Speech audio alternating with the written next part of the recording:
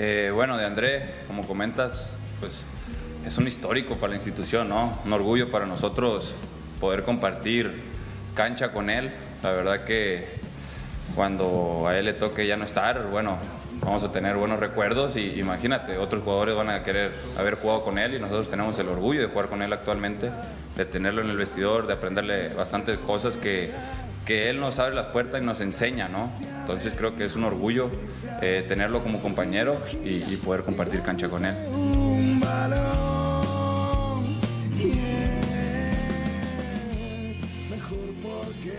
Ya podrá contárselo a sus nietos.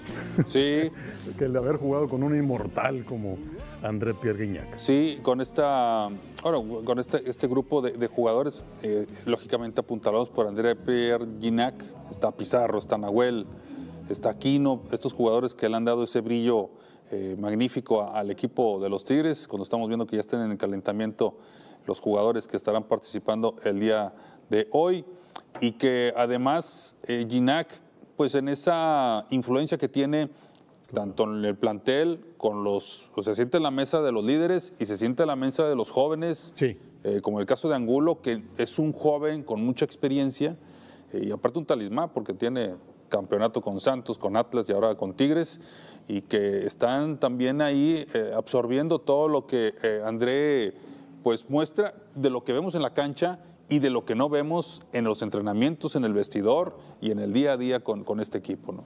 Tremendo líder y tremendo ejemplo, ¿no? Sí. Sí, para aquellos que lo quieran demeritar, nada más hagan los números y hagan eh, el recuento de cuántos han logrado esos números. Son contaditos, Ernesto, son contados. Sí, Este hombre, ¿quién duda que estará tan pronto se retire en el Salón de la Fama de Pachuca y en cualquier Salón de la Fama que exista en México va a estar el nombre y eh, el reconocimiento a André Pierre Guignac. Sí, un carrerón, ¿eh? Una gran carrera de, de André. O sea, so- solamente con Tigres lo que ha logrado, pero lo que logró como, como allá en la Liga Francesa, eh, con la selección francesa, Sí, además mundialista. además mundialista y estando participando en Eurocopas. O sea, eso también, y llevando a Tigres a esas Eurocopas, ¿no? Porque hay que recordar que cuando recién llegó aquí a Tigres, después al siguiente año tiene una Eurocopa y, y hace una señal, la señal de, de- de la Libres y Locos, o sea, llevando toda esa esencia, eh, sabiendo también esa, esa socialización con, con su afición, es, es, este, importante lo que ha hecho eh, André. Así es que es un jugador que, que, ojalá nunca se vaya, pero yo creo que nunca se va a ir, se va a ir de la cancha, algún día se va a quitar los tachones y se va a tener que un pantalón, se va a tener que poner un pantalón largo. No sabemos si como, no, no creo como técnico, porque él ha manifestado que no le gustaría ser entrenador, pero como directivo, como asesor, como director deportivo, Claro. algo, algo eh, donde va a seguir eh, siendo este, un líder en, en el equipo de los Tigres, en la institución. Ya escasos minutos para arrancar este Tigres Chivas. Eh, hablábamos de los técnicos. Tigres Chivas es lo mismo que Robert Dante Siboldi contra Fernando Gago. Gago en su segundo partido apenas oficial en la Liga Sí. MX. Siboldi en su partido número 20 como técnico de Tigres jugando en el universitario. Puede presumir una etiqueta de invicto. Exacto. Sí, lleva 11-8, ¿no? 11 Oh. ganados, 8 empatados y hoy va por el vigésimo. Exacto. Qué grandes números del Robert, ¿eh? Sí, eh, se escucha lejos el, el abril del 2023, pero se escucha también y se ve cercano el abril del 2024 para hacer un, un balance, si lo podemos entre comillas, de lo que ha hecho Siboldi y que desde ahorita pues ves más situaciones eh, palomeadas, Claro. eh, con un campeonato, con dos copas eh, que se logran, como son la- la- el campeón de campeones, el campeones Cup. Con Eh, un subcampeonato, y un subcampeonato hay muchos que dicen, no, el subcampeonato, el subcampeón nadie se acuerda.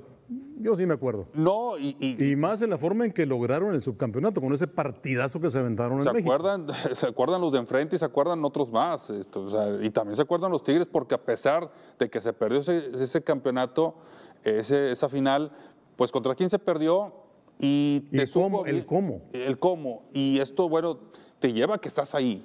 Claro. ¿sí? Te lleva a que estás ahí este, disputando títulos, eh, acostumbrado a eso, eh, por lo menos la final, y esto ya quedará en ellos cuando se efectúe.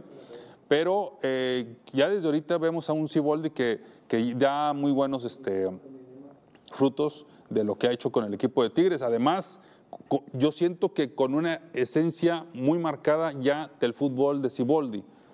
¿Sí? Ahí estaba Macías, ¿verdad?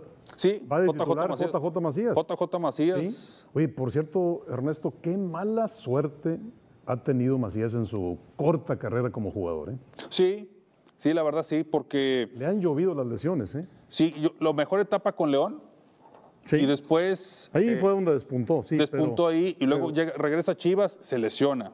Vamos a decir que llega lesionado, luego se recupera, pero luego se va a España, le va mal, ¿por qué? Por las lesiones, regresa lesionado, se recupera y ahora lo estamos viendo.